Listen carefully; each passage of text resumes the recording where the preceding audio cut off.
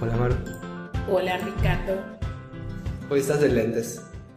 Es que estaba yo checando unas cosas en mi iPhone, el nombre de un lugar, y casi nunca me ves con lentes porque lo único que hago es hablar y no necesito mis lentes, pero eh, ya, ya me los quité. Está, ya, ya te Te ves más chico ahora. Ya, Clark Kent. Sí, empequeñeciste.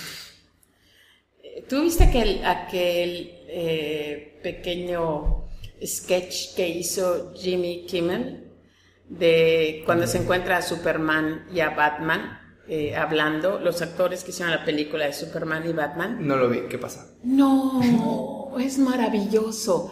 Pues eh, re- ataca esa, eso que siempre hemos pensado, o sea, ¿cómo va a ser que no sepas que Clark Kent es Superman? Eh, y él, la tienes que ver, él, él está en una fiesta, en una fiesta de cóctel y está pasando la escena, no vi la película de Superman contra Batman, digo, tengo cien mil cosas mejores que hacer en la vida, pero se ve que es una escena donde ellos se encuentran y está pasando Jimmy Kimmel, como hacen otra versión, y lo ve y le dice, me recuerdas a alguien, me recuerdas a alguien, a ver, y le pone unos lentes, eres super, eres, eh, tú eres Superman, nene". no, no soy Superman, sí, hombre, velo, te quitas los lentes y esto, entonces está feliz, le dice, sí, y el otro para quitárselo encima, bueno, le dice, ¿qué quieres? Una foto, una foto para mi, para mi mujer, entonces, y le dice a, a Ben Affleck, le dice, toma el, mi teléfono y tómanos una foto. Y cuando Ben Affleck se pone el teléfono sobre de los ojos, digo, oye, espérate, tú eres Batman. Entonces, está sensacional la escena, está en Facebook y Ah, la pueden está en googlear. Eh, Jimmy Kimmel y eh, Batman y Superman. Está muy chistosa porque Ah, dice lo que todos estamos diciendo sentados desde nuestras sillas. O sea, no, no me friegues, o sea, se puede ver qué es. porque- La verdad, yo tampoco vi la de Batman. ¿La viste, Leo? Pero por Dios. o sea, No pero- se ha antojado, la verdad. Ah, pero, ¿qué- pero ¿quién va a ver eso? O sea, nada, nada más que tengas nueve años y tu mamá esté, no lo sé, desesperada por entretenerte o algo, pero no tiene cero valor. En fin. De hecho, ahorita estuve en Estados Unidos un fin de semana y nos estaban presumiendo los americanos como la cosa más sensacional, sus cines VIP. Y nosotros, ay, Chuch. ternura. Eso lo inventamos nosotros. Sí fue invento Hace de, años. De, de aquí, de Por México. supuesto. Bueno, no sé si de O sea, México. sí sé que, era, que aquí estuvo mucho antes que en muchas partes del mundo, pero no, no sé si se inventó aquí. La verdad es que no lo sé. ¿Pero que fue antes que Estados Unidos? Sí. Y entonces dijimos, bueno, vamos a experimentar el cine VIP, pero en el primer mundo. Vamos a ver qué otras cosas más te dan. Eh, aprendí que, por ejemplo, cuando tú pagas la entrada, que creo que cuesta como 25, 27 dólares por persona, te sientas igual en las sillas reclinables y tienes palomitas gratis toda la película, lo cual se me hizo muy bueno. Muy bueno. Eh, bueno, y no sé qué otras cosas. No llegamos a experimentar porque la elección, la selección de películas estaba realmente espantosa. espantosa. Tenían, eh, yo sé que buscando a Dory es, es una chulada y que es chistosa y que es linda, pero como que teníamos ganas de ver una película de verdad. Y estaba Dory y estaban otras caricaturas y estaba Tarzán y estaba el Día de la Independencia, o sea, pura joya de la cinematografía. Y decidimos mejor irnos a casa a ver Netflix, porque estaba fatal, fue una frustración. Lo que sí hicimos fue comer. Eso, me, eso te quería preguntar. Ay, Dios mío. No sé por qué lo hago. Mientras estoy comiendo, mientras estoy sentada feliz sintiendo los sabores, no pienso en que no me va a cerrar después la ropa. Pero comimos, eh, hicimos el, el propósito de probar cuando menos tres lugares extraordinarios y ¿Se cumplió? se cumplió creo que visitamos más, creo que fuimos a cinco lugares especiales. Eh, a mí me frustra muchísimo cuando oigo a mis amigos decir que fueron felices, o sea, que nadie se ofenda, ¿ok? Pero vienen felices porque comieron o en Olive Garden, o en IHOP, o en Red Lobster, y yo me quiero cortar las venas con el cuchillo de pan, porque en una capital como Houston o como Miami, encuentras restaurantes realmente notables y eh, son experiencias que realmente uno debe de, darse. Si te gusta la comida, o sea... Sí, yo la verdad hemos platicado, yo soy de... Te da lo comida en la calle, pero ahorita que estamos hablando de uno, me acordé, eh, cuando terminé la maestría fui un, de viaje a, Japón. Y envidio. Un, un amigo que siempre me contacta con gente que me dice que son sus amigos, pero que en verdad solo los vio como hora y media en su vida pero ha sido la casualidad que siempre son excelentes personas. Me contactó con dos amigos suyos de Japón y salí a, cenar con ellos. Y fuimos al lugar y algo había pasado con la reservación que tenían que no se pudo. Y yo había guardado, antes de salir siempre guardo como artículos y cosas del lugar donde voy, lo guardo en mi celular. Y abrí y ubicas el juego Cards Against Humanity. Sí, claro que sí. Bueno, el que hizo... La primera vez que lo jugué gané. No lo puedo olvidar. Lo tiene Diego, que jugar un día. Yo no lo he jugado, pero bueno. Eh, uno de los creadores del juego se llama Max Temkin y tiene un podcast que me gusta mucho. Y habló de que él había ido a Japón y que había hecho, no sé, el punto es que tiene un artículo sobre sus notas del viaje de Japón. Sí. Y es súper minucioso y detallista en todas las cosas, entonces está muy bueno el artículo. Y hablaba así, decía como de los lugares donde fue, de cómo coordinó todo y mencionaba algunos de los restaurantes, porque él el podcast que tienes sobre el programa Top Chef. Es como una broma sobre el programa, pero como que está muy metido en cosas de comida. Y mencionaba algunos y mencionaba, había uno, que hasta apunté ahorita el nombre, o sea, Tachikichi. Tachikichi. Tachikichi. Y cuando lo vi y dije, ah, Tachikichi, ah, está Shinjuku. Y le dije, se voltearon los amigos que estaban, ah, estamos aquí.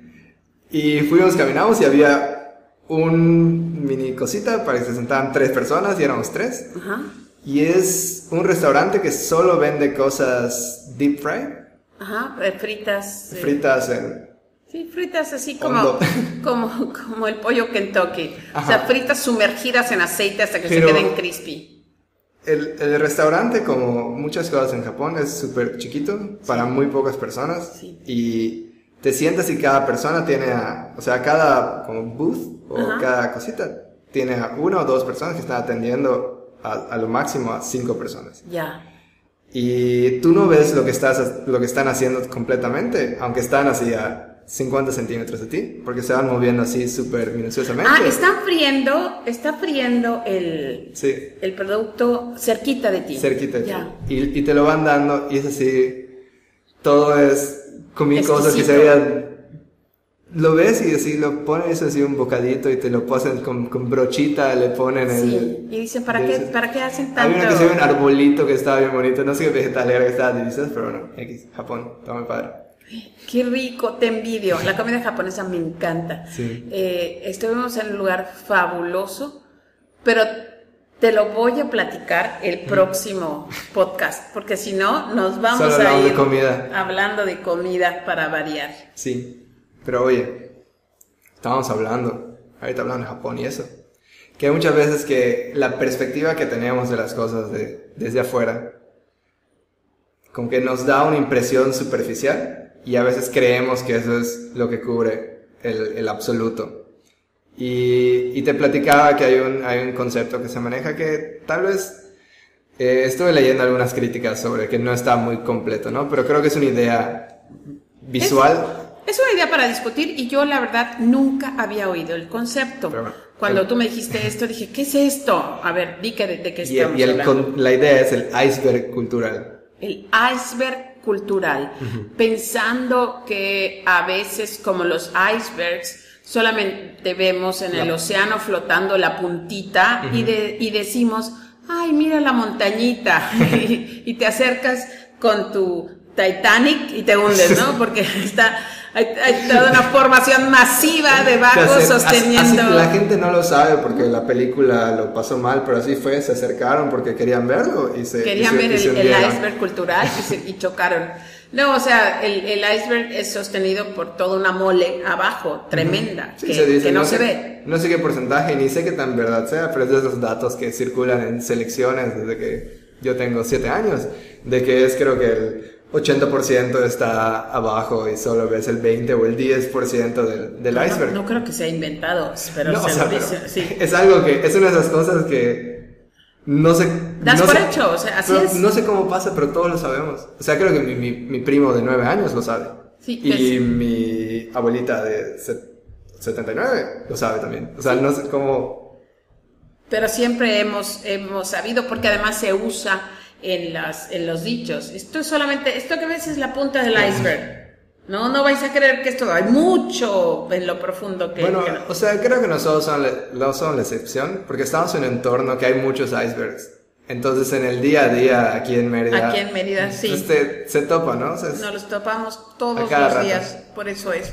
Pero, ¿qué es el iceberg cultural? El iceberg cultural toma la idea del iceberg como esa masa de cosas, de muchos elementos que conforman algo que a primera vista solo ves un porcentaje pequeño de que lo conforma todo, ¿no? Entonces el iceberg cultural es un modelo que se aplica tanto para empresas, pero también se aplica como para sociedades en sí. Eh, yo me topé con, con la idea leyendo precisamente sobre escritos sobre viajes, todo ahorita que hablas de Japón, de personas que viajan o que viajamos a veces a un lugar y estás un momentito y piensas que, oye, las, las canciones y la comida y la bandera hacen toda la cultura de un lugar, cuando en verdad eso es lo que ves en la semana o dos semanas que podemos ir a un lugar, pero en verdad todo lo que da la identidad a un país o a una empresa o a un grupo de personas es muchísimo más complejo de lo que vemos en la superficie. Es verdad. Eh, y eh, creo, creo recordar que tú diste un ejemplo de esas empresas, no sé si es el mismo tema y si no con toda la confianza, de esas empresas que de repente empiezan a poner como que los valores, la misión, los postercitos, no, nosotros somos esto.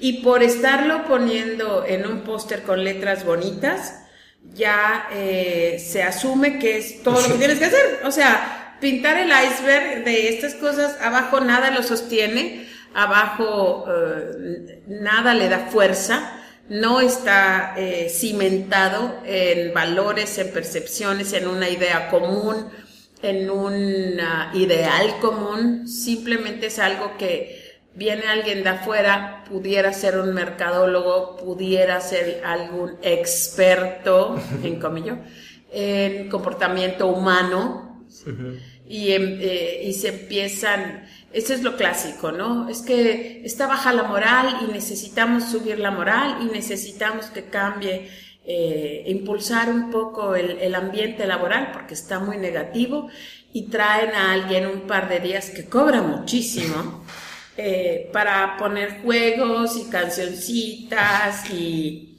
y ejercicios chistosos y ya dicen, ya, o sea, ya, está. Ya está buena la cultura. Es la, como que la maquilladita, ¿no? De, de, lo que está pasando. Sí, sé, que, sé de qué estás hablando. Sí, y, y pasa porque creo que en un podcast pasado hablábamos sobre mentores. Creo que también cultura en la empresa es uno de esos temas que, que está muy de moda, se podría decir. Y como muchos temas de moda intentamos agarrar pues lo que, lo que se pueda, ¿no? Y ah, oye, pues cómo mejorar la cultura de, de tu empresa, cómo hacer algo para mejorar eh, la actitud de, de las personas que están trabajando. Y, y, creo que como dices, a veces se va en lo superficial nada más, en ir y, no, pues sabes qué, es que si ponemos bien los valores, que no sé si, al, bueno, yo cuando estuve trabajando en, en Alemania, Ajá teníamos como que varias cosas de, del inicio. Y en una de las pláticas que teníamos estábamos con eh, dos de los que estaban más arriba en la empresa. O sea, las cosas que tenías al principio te refieres Aquí hay una introducción, iniciación, y todo, ¿no? Y estábamos en una de esas, era una junta en la que estaba uno de los fundadores de, de la empresa y otro que era como el gerente de recursos humanos. Y es, y de pronto vi que el, fundador estaba hablando, dijo algo y se fue para atrás y se me hizo raro, se fue para atrás y... Se fue para atrás, tomó dos pasos hacia atrás. No, se fue hacia la parte de atrás del salón. Ah, ya. Se fue hacia la parte de atrás del salón y como se apoyó en la pared y vi que como estaba riéndose y yo dije, ¿qué está? ¿Qué está pasando? Empezó a hablar el de recursos humanos y dice, no, es que los valores de la empresa son muy importantes, no sé qué. Y como que el, el, el fundador que estaba atrás empieza a reír llamando notoriamente y le dice, bueno, ¿sabes qué? Esto lo haces cada mes y a mí me da mucha risa, porque eso los valores no lo entiendo. Dijo el fundador. Dijo el fundador. Yo no entiendo lo de los valores. Ajá, no entiendo. Y me dice, se voltea y nos dice a nosotros, los que éramos nuevos, que éramos como 8 o 9, les dice, ahorita estoy apoyado en la pared y estoy tapando el letrero de los valores de la empresa. Ustedes llevan trabajando aquí creo que llevamos como dos semanas. Ajá. ¿Alguien me puede decir uno de los cinco valores de la empresa? Qué simpático. Silencio total. Y dice cómo se ríe. Y se, se, se lleva muy bien con el recurso Esto no es por mala onda, pero pues es parte de la vida. No, no queremos que su experiencia trabajando aquí se limite a una plática en la que te decimos, esos son los cinco valores. Mira, hasta le pusimos dibujitos, un cuetecito y no sé qué. No, la idea es que como que internalices más los, los conceptos y veas la manera en la que trabajamos nosotros. Y se me hizo padre. Está muy interesante. Pero están bonitos los dibujitos de los valores, la verdad. El cuentecito es verdad. pero a mí me da curiosidad y quisiera preguntarte, ¿tú nunca habías visto esos dibujitos hasta que este chico lo señaló? Es que está, o sea, había, sabía que habían cosas en la... Era como una de las espacios de juntas. Y había visto los dibujitos, pero habían más cosas, o sea, no era lo único que... No, no estaba lleno de cosas, pero era como que el logo de la empresa y la página web y estaban los valores y había algún otro cuadrito de, texto. ¿Y, te acuerdas algún, te acuerdas alguno de los valores? Me acuerdo que había un eh, me acuerdo del cuentecito porque estaba padre, es lo único lo que me acuerdo. Ni sé qué representaba, algo así como trayectoria hacia arriba o así, no idea. ¿Y el, el dueño explicó los valores de una manera memorable? No, creo que más que nada su, idea de la parte de, trabajar ahí era, primero que nada, ser una empresa en crecimiento, que todos tenían la oportunidad de hacer cosas que importen desde el inicio. Sí. El otro era de que organización casi horizontal, o sea, eran más de 100 personas trabajando y creo que a lo mucho eran tres o cuatro niveles de organización. O sea, no tenías el jefe del jefe, el jefe, el jefe, el jefe, porque se acababa la empresa. O sea, era el jefe, el jefe y ya no había más. Sí. Y, y ya, estaba. Y más ese ambiente de algo casual, pero administrado por objetivos. Pero volvemos a al, comportamiento, o, al comportamiento o a la base o a los cimientos o al bulto de lo importante. Eh, si no te acuerdas de cuáles eran los valores, pues tampoco me vas a poder decir si se vivían, si se respiraban o si era congruente. Sí, o sea, es algo que estaba ahí pegado en... O sea, estaba la parte del diseño padre y, todo, ¿no? Sí, yo te estoy diciendo más de lo que mi percepción de cómo se vivía. La verdad, lo que decía en la listita. ¿Quién sabe qué era, no?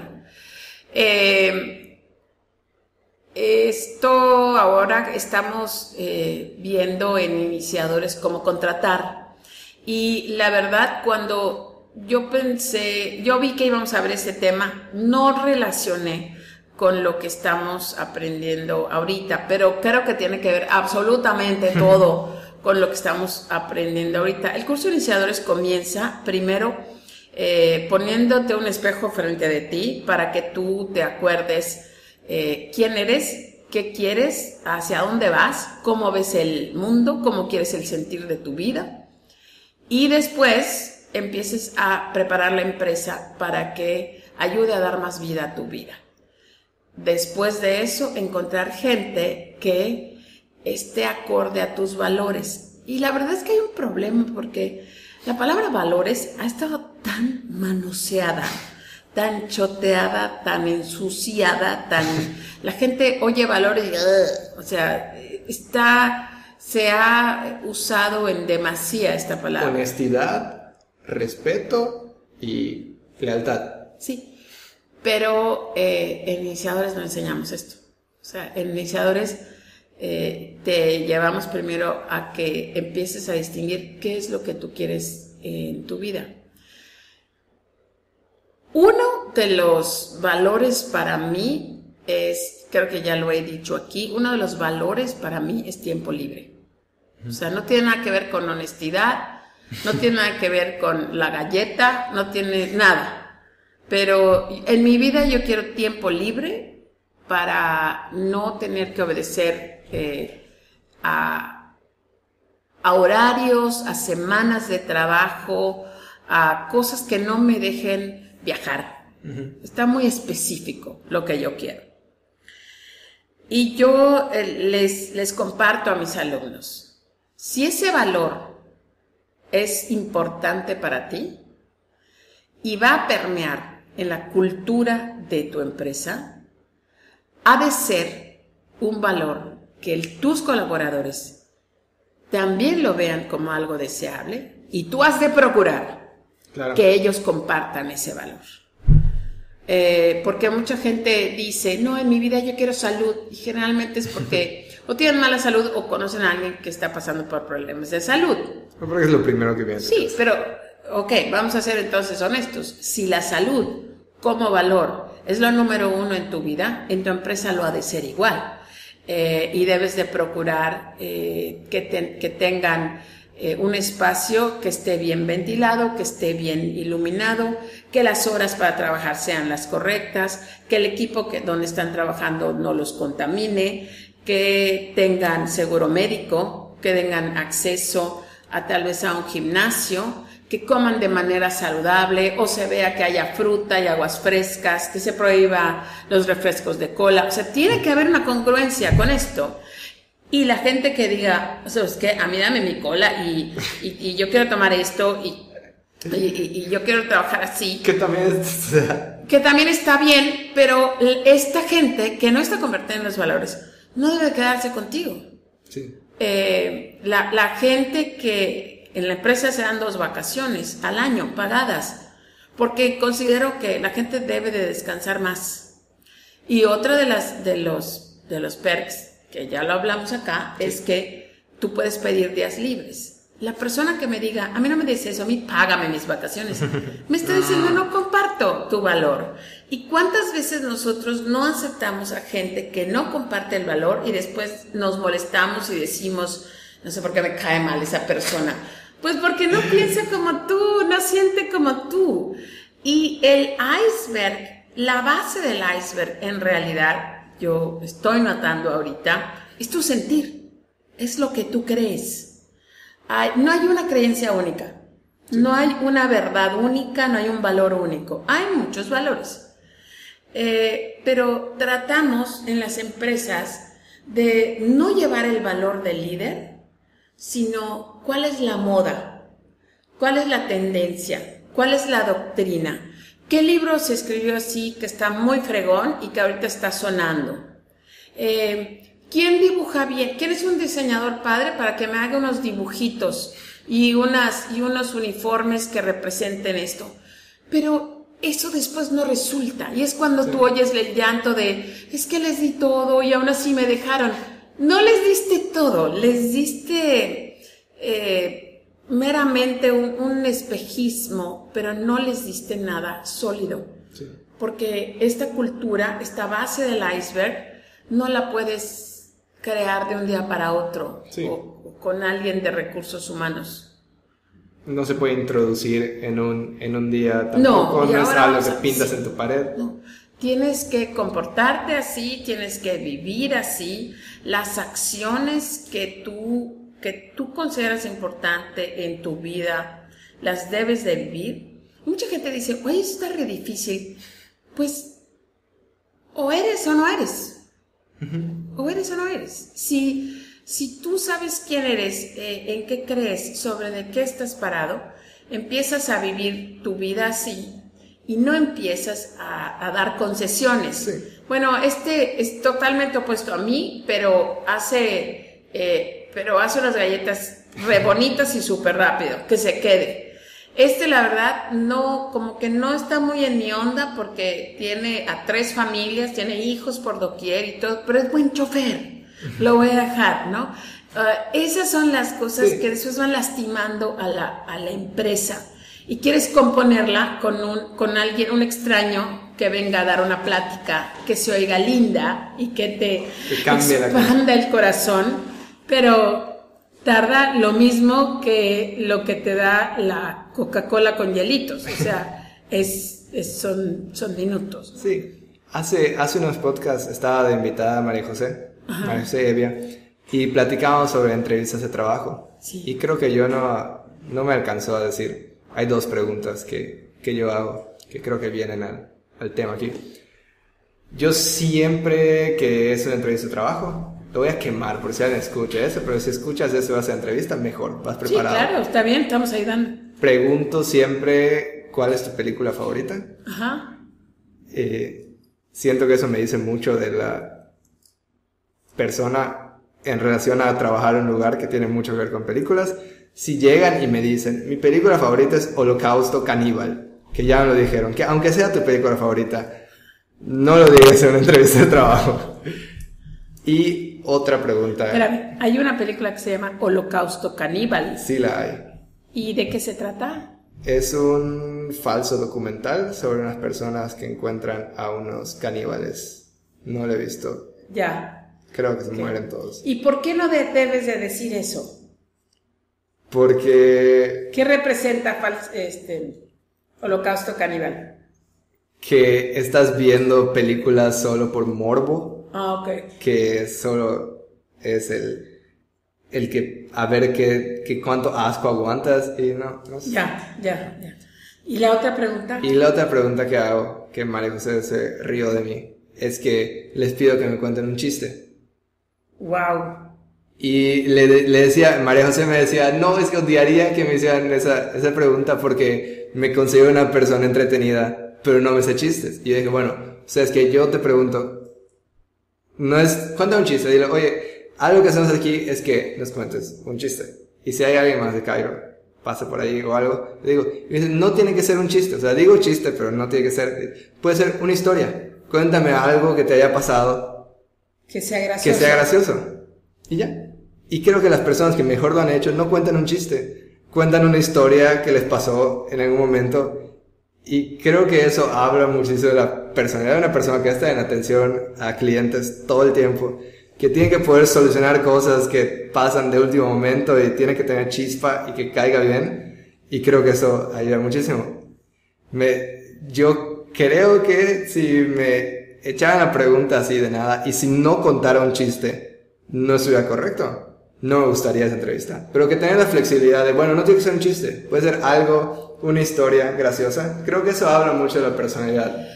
Habla mucho de la personalidad que tú estás buscando en los valores de tu empresa. Por eso, eh, eso, lo que eso es, es, no es que en cada entrevista tengas que no, seguir no, no, o sea, si vas a tener un consultorio médico, tal vez sea tu pregunta, pero no necesariamente es la pregunta que tienes que hacer. Pero ya nada más estoy, nada más aterrizado, te refieres a que cuando uno sabe lo que quiere, los valores que quiere, que, que ya hasta puedes entrevistar y contratar. buscar una manera de ir hacia eso en vez de nada preguntar, ¿cuál es el... ¿Cuál es tu mayor defecto? Que no está yendo hacia lo que en verdad importa cuando vas a integrar a alguien. está totalmente impersonal, está totalmente by the book, como dicen, o sea, siguiendo una formulita, pero no necesariamente está hecha a la medida del, de lo que buscas. Hoy una alumna que ya tomó iniciadores hace un año, pero fue a tomar la clase de hoy porque quería tomar algunas notas, decía que en sus entrevistas les hace preguntas específicas, pero que después les entrega un paquetito de Lego con caritas y con colores y cosas y a todos les entrega igual.